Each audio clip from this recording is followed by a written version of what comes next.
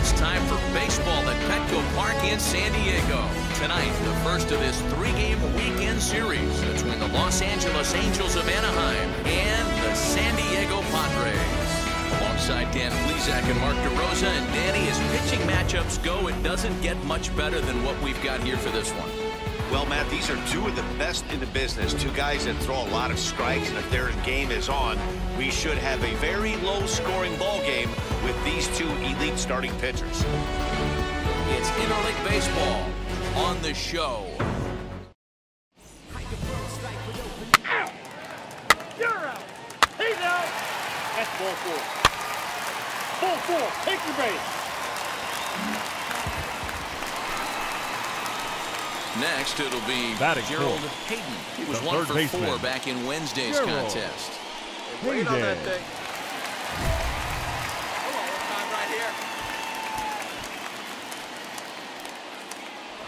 Hey, keep it going. Stay hot, huh?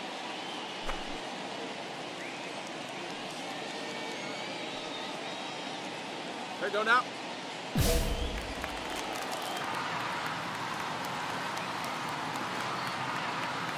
Here's the first pitch. Slapped hard the opposite way. Catch made in left. Here comes the runner for the plate. And not in time as the run scores.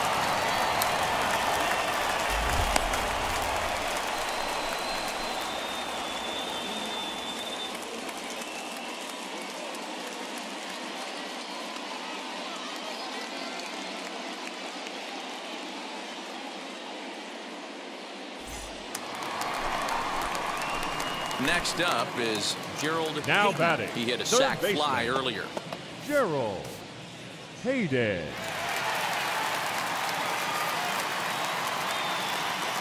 Hey, keep going. Stay hot, yeah? First offering.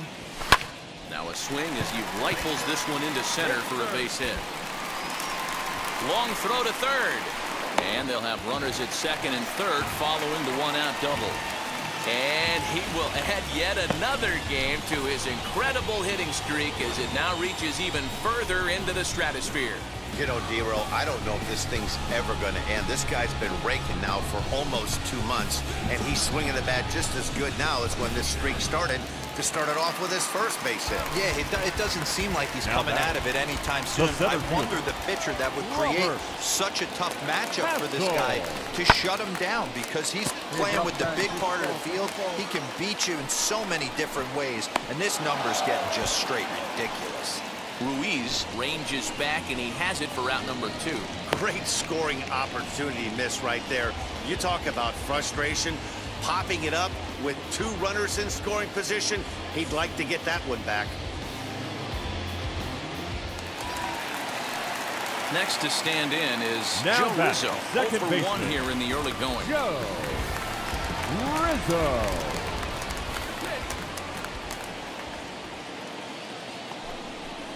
Right side. Oh, a diving effort as it's off his glove. And they will still manage to get him at first. A spectacular all-around play, and the inning is over. Padres leave a pair, but they hold a 1-0 lead.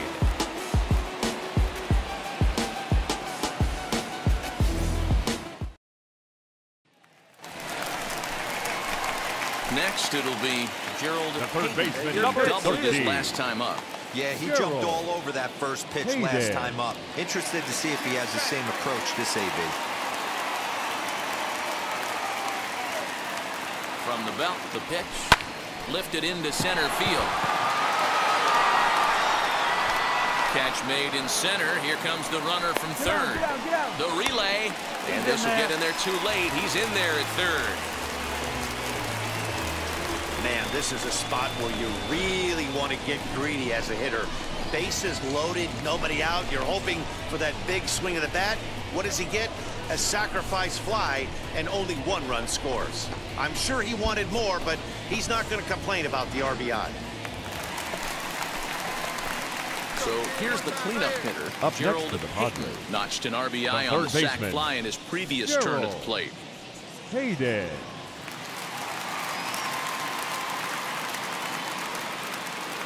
First pitch of the AB now.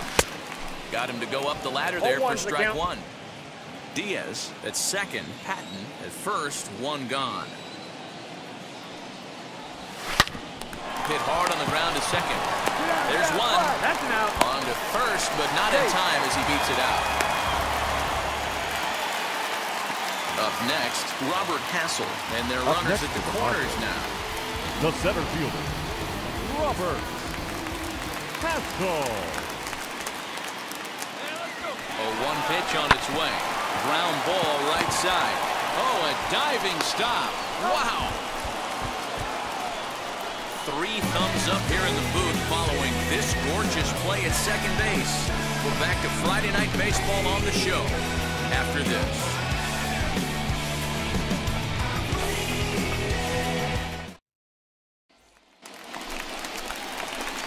So the next to bat will be baseman, Gerald 13. as the switch hitter will bat right-handed here. Hayden. This guy loves hitting right-handed against left-handed pitching, hitting over 350 on the year against left-handed pitching. First pitch of the AB on its way. Hey, we're patient up there.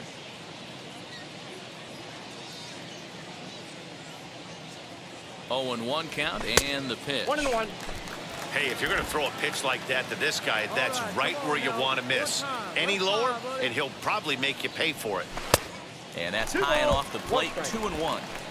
Hey, lots of guys get too aggressive in a spot like this, but he's done a nice job of gaining some count leverage. Look for him to put the ball and play hard. Right side, hit hard. And that'll get on through into right field for a base hit. And a good throw will wind up holding that runner at third, so the bases become loaded now with two gone. Sometimes you got to tip your cap. The pitcher spotted his pitch down in the zone right there below the knee. Offensive player was all over it. Robert Hassell The batter. digging in now. The center fielder, Robert Hassell. This one's flared out toward left. Here Come on, comes you're the left you're scoring, fielder. you're. One run scores. And he is in there.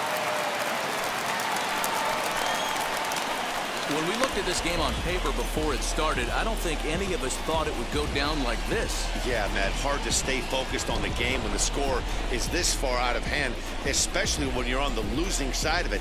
Even as broadcasters, it can be a little bit challenging to stay fully dialed in. Digging in will be Joe Rizzo, for the Padres. struggling so far in this The one and looking baseman, to erase his Joe 0 for 4 ball game right here. Rizzo.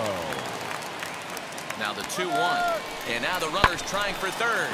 Reaches down and hits this one on the ground to short. And he'll go the short way to retire the side.